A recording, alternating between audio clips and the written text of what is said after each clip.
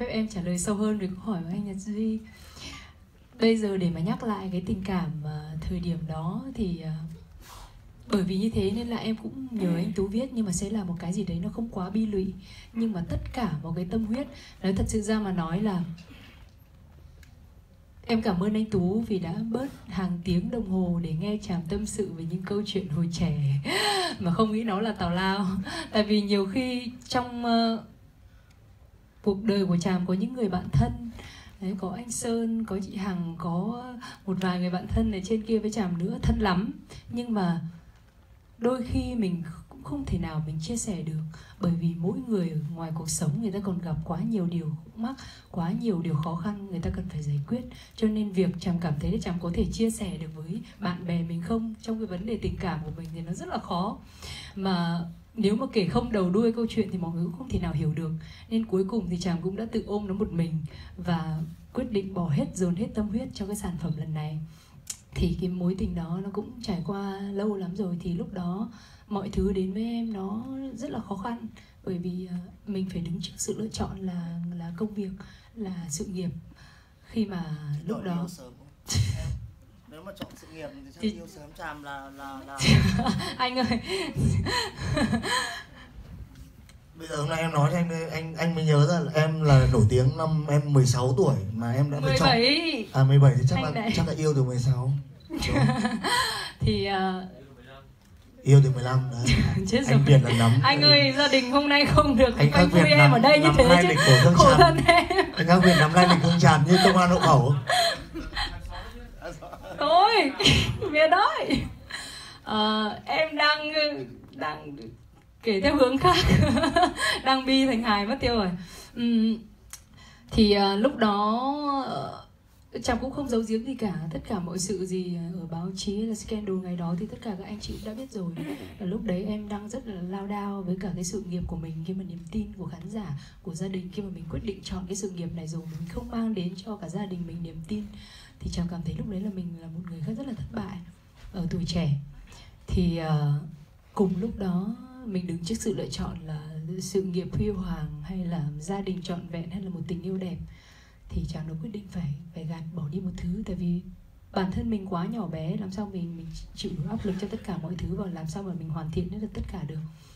Thì lúc đó chàng đã đã có một cái quyết định và một, chàng có nhiều cái cái cái cái cái hành động dại dột diễn đến cho mình những cái nỗi ám ảnh cho đến thời điểm này lắm cho nên cái cái chuyện tình đó nó ám ảnh chàng trong vòng 5 năm vừa qua.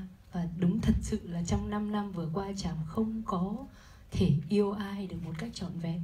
Cũng bởi vì mình ám ảnh với câu chuyện đầu tiên này. Đấy thì uh,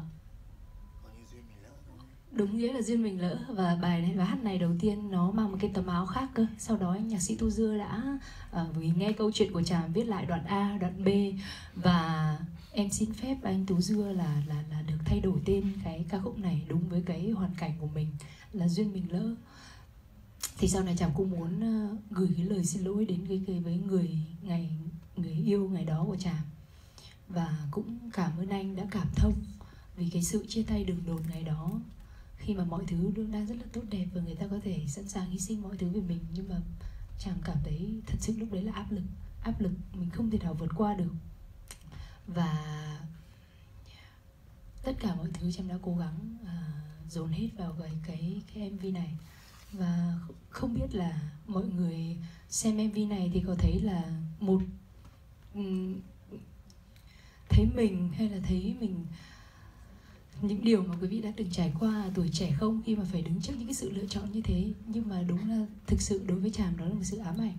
Ám ảnh rất là lâu. Và mọi người sau này vẫn hỏi là tại sao lúc hát mình có thể khơi đâu ra những cảm xúc để mà mình hát như vậy? Thì đó là những cái nỗi ám ảnh đó. Và chàng còn nhớ một cái hành động rất là dại dột lúc đấy mình làm.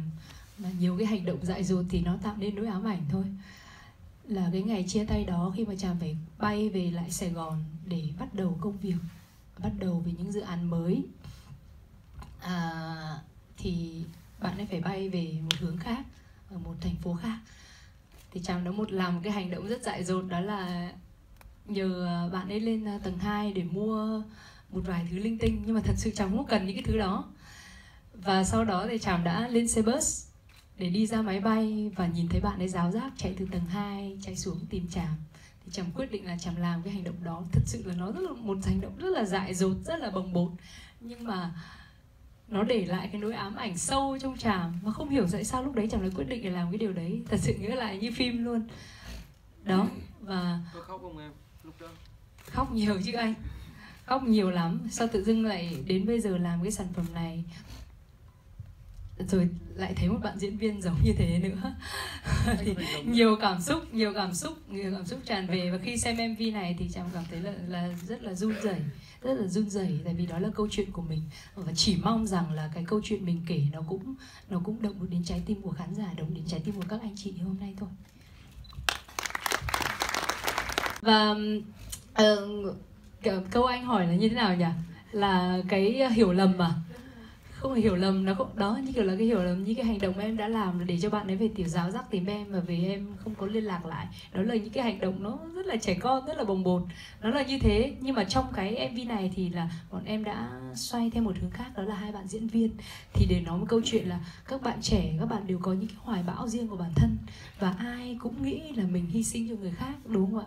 Nhưng mà và không nói với nhau giữ im lặng cho đến ờ, sau này. Và cuối cùng thì kết quả như mọi người đã thấy. Còn trong câu chuyện của em thì lúc đầu là sự hiểu lầm. À, bạn ấy cảm thấy rất là là là là thất vọng. Nhưng mà về sau này hương chẳng nghĩ rằng cái thành công của mình ngay tại thời điểm hiện tại là cái câu xin lỗi có giá trị nhất cho bạn ấy. Nếu mình đã quyết định buông bỏ cái tình yêu ngay tại thời điểm đấy mà mình không thành công coi như chàng còn thất bại hơn nhiều may mắn rằng ngày hôm nay mình đã có cái thành công đấy để mình gửi xin lỗi chân thành nhất đến tình yêu đã qua của mình yeah.